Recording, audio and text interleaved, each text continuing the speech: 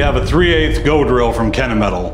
Now these are awesome tools, but they're in a completely different category from this 3.5 inch FBX drill we have here. When you start looking at the amount of surface area that's engaged in cut, a tool like this is gonna require huge amounts of torque. So we did all the calculations on how much horsepower and torque this tool was gonna take, and we ended up doubling the feed from our previous video. That takes us from two inches a minute to four inches a minute. So at four inches a minute, we ended up being around 90 horsepower and about 350 foot-pounds of torque. Of course, Titan walked up and he said, nah, we're going six inches a minute. So I reran the calculations and that puts us at 130 horsepower and 450 foot-pounds of torque. Now that's almost 30% more than what this spindle's stated capabilities are. So at four inches per minute, I was already terrified because this is a huge drill and big inserted drills have always scared me.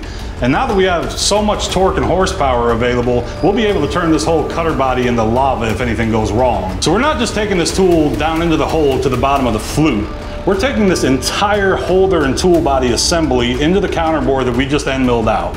So everything we're doing with this tool right now, feeds, speeds, should be setting us up for failure. But we're gonna push it past its limitations and see what this thing is really capable of. I don't know if we're gonna stall the machine out or if it's gonna work, but let's find out. All right, we're going in with this drill at five times what Kennametal recommends for surface footage, so the sound may not be ideal. So don't rip me apart too bad in the comments.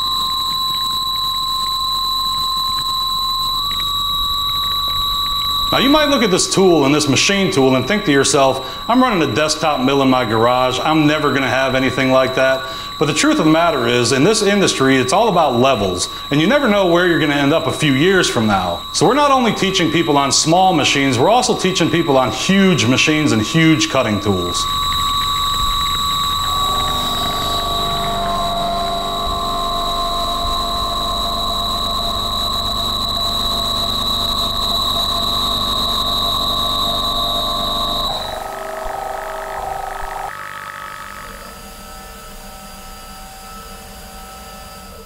So like I was saying earlier, we're not just gonna be going to the bottom of the flutes. We're taking this entire tool, holder and everything, down into this counterbore.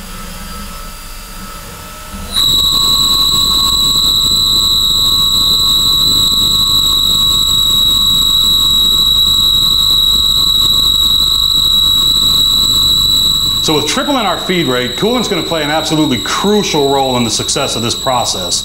The added lubricity and chip flushing is going to be the one thing that will make or break this cut.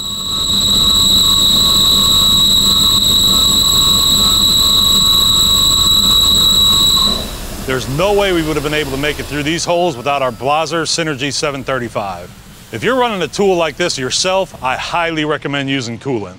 All right, so what you just saw was probably the scariest thing I've ever had to push start on in my whole life. So I'm totally shocked that that actually worked. Everything on paper said that this should have failed. But it goes to show you that when you have beast tools and beast machines, you just might be surprised at how much of a beating they can take.